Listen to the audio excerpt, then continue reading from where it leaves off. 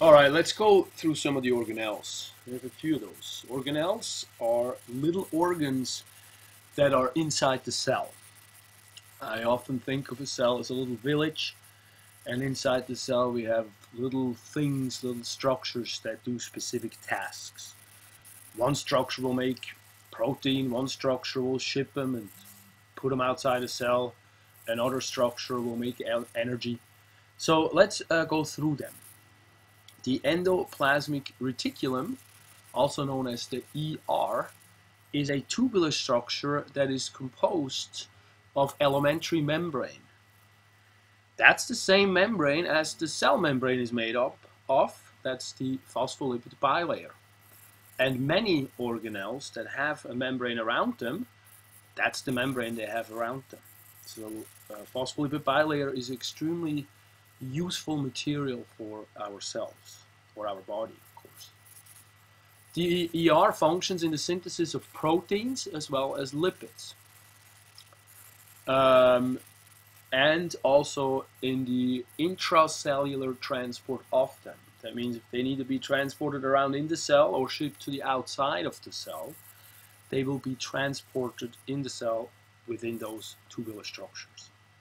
We have two kinds. We have rough ER and smooth ER. The rough ER has little bumps on it, if we would be able to touch it. And they are studded with ribosomes. And ribosomes are the protein factories, which will come next. The smooth ER are not having ribosomes on it, so they're not suited for protein uh, synthesis, but they are suited for lipid production. When we look at the picture, here is a depiction of it. Uh, you see in the middle, the center is the uh, nuclear envelope. The nucleus is inside of that. The nuclear envelope is just um, a cell membrane around the nucleus to protect it. Uh, we have nuclear pores, and that's where um, material from the DNA, the copied material, which is RNA, can exit and then go right into um, ribosomes uh, and make protein. And the ribosomes here are on the ER, and so the bluish grayish pieces are the ER. But let's talk about ribosomes. Those are protein factories. Let's look at this ribosome picture here. Um, the top left one shows us a fairly detailed depiction on the top. We have amino acids that come from within the cell uh, the yellow structures uh, bring amino acids to the ribosomes that will make the protein, which is a polypeptide chain.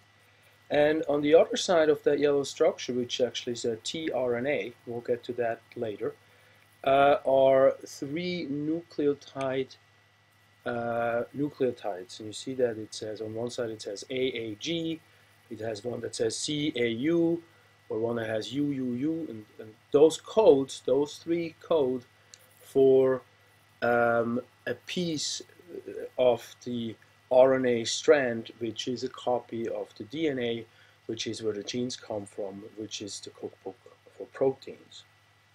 So we'll get into that much more in detail, so don't worry if you didn't get that right now, but it is a very uh, interesting process. Then we get the next organelle is the Golgi apparatus. That is an internal channeling system that's very similar to the ER. And what that channeling system does, let's look at the picture for that, is, is quite interesting. Uh, it, it picks up substances that come, for example, from the ER, the Golgi apparatus does. And you can see that on the top right picture there, uh, the, the uh, reddish structure is the Golgi apparatus and the pinkish structure is the ER and the vesicle comes from the ER, moves into the Golgi, where it gets packaged up and alters and, and, and processed so it can then be shipped. And you see that on the other side, on the right side, where a vesicle, which is cell membrane, and in the inside are the substances, the proteins and so forth, that need to be brought to the outside of the cell.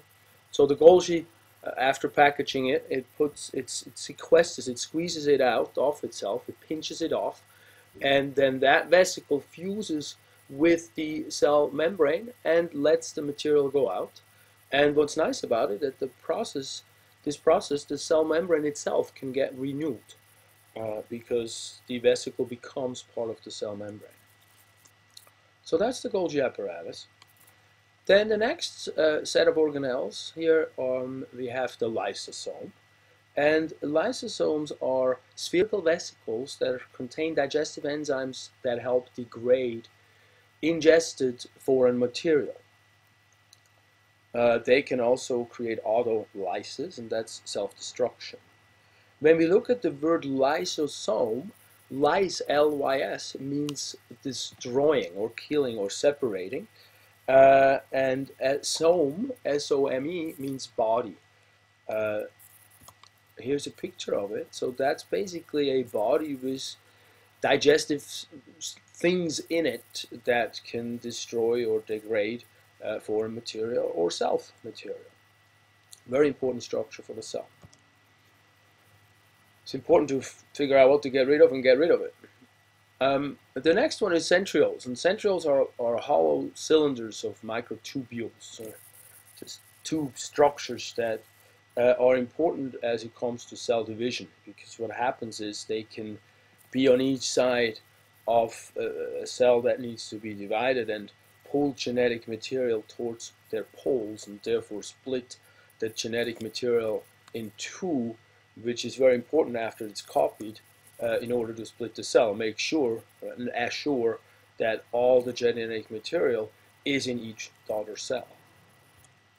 They look kind of funky. I like them a lot when it comes to artists' views and structure because they're very nice and symmetrical, uh, all those tubes.